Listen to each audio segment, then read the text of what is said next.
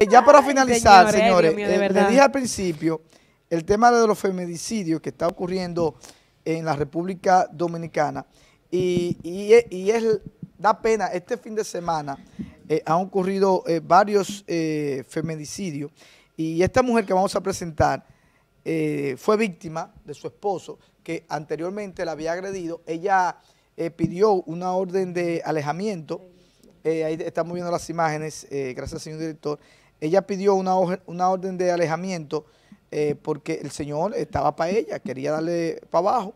Esta orden eh, parece que no fue eh, sometida. El asunto es que la joven, lamentablemente este fin de semana, su esposo, es su expareja, no, le, dio seis puñaladas. Wow. casualidad. La joven Tania Ortega, eh, de 21 años de edad.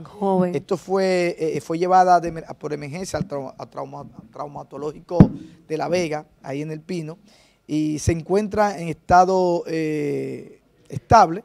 Eso fue en Maimón, en la provincia de Monseñor Noel. Vamos a escuchar la declaración de esta joven. Ojalá, si alguien conoce a, su expareja, quien agredió, pues lo pueda denunciar. Se llama Esteban Canela. Vamos a escucharla, señor director, y con esto finalizamos la noticia de hoy.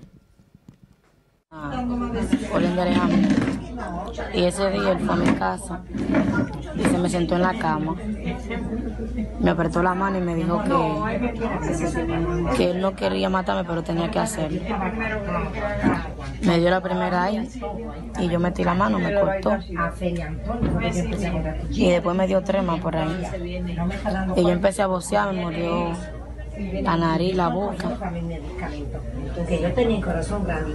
Y cuando lo pateé, que estaba en el suelo, me tiró otra en la espalda. Y vos se aleja de él que estaba allá. Y ella, cuando entró, le tiró la puerta ¿Cuántas puñaladas te dio? Sí, seis. ¿Cómo se llama él? Esteban Díaz Canela. Esteban Díaz Canela. ¿En otra ocasión él te hubiese agredido? Sí, él tenía orden de alejamiento. ¿Tenía orden de alejamiento? ¿Qué fue lo que pasó hace aproximadamente dos meses en tu casa? En casa de una amiga fue, que él fue y rompió ventanas, rompió la puerta y me estaba ahorcando, me dejó inconsciente. ¿Y fueron a la fiscalía? Sí. ¿Y no cayó preso? No. Solo le dieron una orden de alejamiento. Luego, ¿tú dormías toda la noche con él ahora? ¿Vivías con él? No. ¿Él violentó la orden de alejamiento? Sí. ¿Teme por tu vida? Claro, porque la intención de él era matarme. Y quería que yo llevara a los niños más grandes míos. Me dijo que los llevara para que pasaran el día conmigo allí en mi casa. ¿Teme, ¿Tienes tú pensado que él tenía un plan de matarte a tus hijos y matarte a ti? Claro. Yo tuve dos muchachos, yo nunca había llegado. ¿Te sientes tú que has creado, tienes trauma?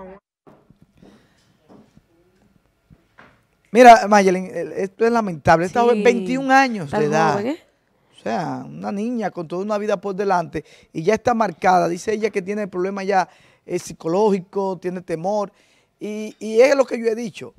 Las autoridades, principalmente el Ministerio Público, eh, no han podido dar pie con bola con esta campaña de prevención contra los feminicidios, contra lo que es la violencia intrafamiliar.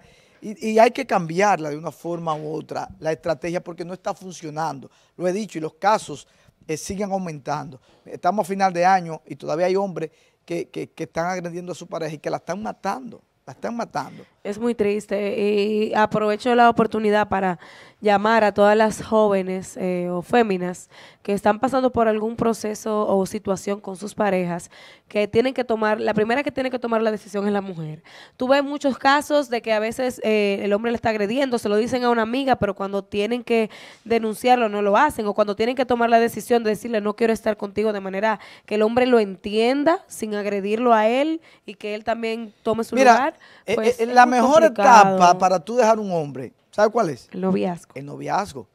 Porque el hombre, aunque esté enamorado, porque siempre cuando uno está enamorado viene el asunto, todo es color de rosa, como, como se conoce, pero en el noviazgo es que usted tiene, hoy en día la mujer sea inteligente y el hombre también. Porque antes eh, tú conocías a una persona y te casabas ahí a la buena de Dios, sin conocer eh, la educación, sin conocer los familiares, sin conocer si son compatibles en todos los sentidos de la palabra, incluso hasta la iglesia, oye lo que recomienda la iglesia, que tú tienes que investigar hasta el tipo de sangre de la persona con quien tú te vas a casar. Sí. Claro. ¿Por qué? Porque Ya un eh, tiene que, tiene que ver si son compatibles, porque tomar la decisión de casarse no es un relajo, y por eso que los matrimonios hoy en día son tan a vapor y muchas veces no funcionan y terminan con una desgracia hoy en día. Entonces, cuando usted está enamorada o enamorado, investigue. Fue como le dije sobre las iglesias, investigue. Hoy en día hay tantas, tantos medios para tú investigar a una persona, a una institución o lo que tú quieras, pero en el caso que estamos hablando de, de- de problemas de pareja, usted investiga el, el tipo de sangre, eh, a qué se dedica, el récord de las demás novias o novios, porque Claro. eh, eh, esta investigación no es solamente de la mujer hacia el hombre, sino también del hombre hacia la Hacia la mujer. El, el tipo de relaciones que ha tenido anteriormente, si es casado, si, eh, si- si- si- cómo fue esa relación de su pareja, si tiene hijos, cómo es la relación con sus hijos. Entonces ahí usted tiene una idea con la persona que usted va a acotarse, con la persona que usted va a convivir. Porque Claro. después ya que el noviazgo está eh, eh, profundo y después que viene el matrimonio, la cosa es peor. Más Entonces, difícil. cuando usted se da, ah, no, que me invitó una cerveza, un comadón, ya usted se da cuenta, usted es fácil dejarlo. Claro. ¿Tú entiendes? Claro, Entonces, sí, eso sí. es lo que yo entiendo que el ministerio eh, y la misma, por ejemplo, eh, el Ministerio de Educación, el Ministerio Público y las autoridades deben de irse por ahí con la campaña. Conoce a tu pareja antes de tu casarte. Conócela. Claro, ¿no? Y aprender a tomar decisiones, eh, como tú decías. El noviazgo es para conocerse, para usted determinar. Claro. Y uno piensa, la mujer siempre piensa, no, él va a cambiar, él va a cambiar. No, y que todo es Usted bonito. Tiene que saber lo que usted cuando, está buscando. Cuando tú conoces una mujer, todo es bonito. Claro. el hombre la quiere complacer en todo. La misma Sí. mujer eh, también te quiere complacer en Ay, todo. ay, sí. Tú te enamoras muchas veces de, de las redes sociales hoy en día. Sí. Antes no, antes era de, de- de la muela. Pero ahora tú ves una mujer o un hombre en las redes sociales y tú crees que es una vida de verdad. No. Compenétrate, conócela, mira cuáles son sus gustos. Eh, eh, ha- hazle prueba un día, tú le hablas duro a ver cómo él te va a responder. ¿Tú entiendes? Un día tú le das un, co- un codazo. Ay, no, un codazo no, Sí, pero un codazo ahí, No, ¡pam! no agresivo. a ver cómo va a reaccionar. Eh, ponte un día una minifalda, en el caso de las mujeres, a ver cómo el tipo va a reaccionar. ¿Tú ves? Entonces ahí tú te das cuenta, ah, no, el tipo es celoso. Mira, me puse una mini y me, me la mandó a Celoso cambiar. Entonces ahí tú, compulsivo. tú terminas esa relación Tóxico. toxiva.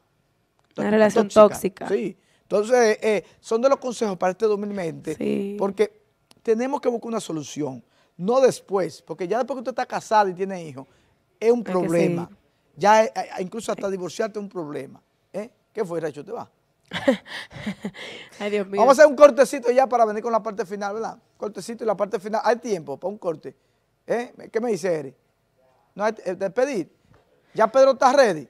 ¿Eh? Eh, Pedro le ha ido bien. Tenía días que no lo veía. Sí, Pedro le ha ido bien en, en- en esta Navidad. Pedro, ¿te, te llegan los pollos? ¿Eh? a, a Pedro no le llegan los pollos. Porque no han llegado los pollos. Vamos, señora, a despedir. Mañana, Mañana tenemos, tenemos- la fiesta de fin de año. Sí, claro. Eh, eh, la invitación extensiva para dos. Ok. Sí, Maya, pero ¿Pero y te qué? pasaste el programa entero con... con ¿Eh? Se, se pasó el programa entero, Maya. Pero, pero, eh, da- da- ven, dame la mano. Diantre, no Dale, enfócame aquí. ¿Eh? Señores, bendiciones mañana a las 11, toque del mediodía, en vivo, despedida del año 2019.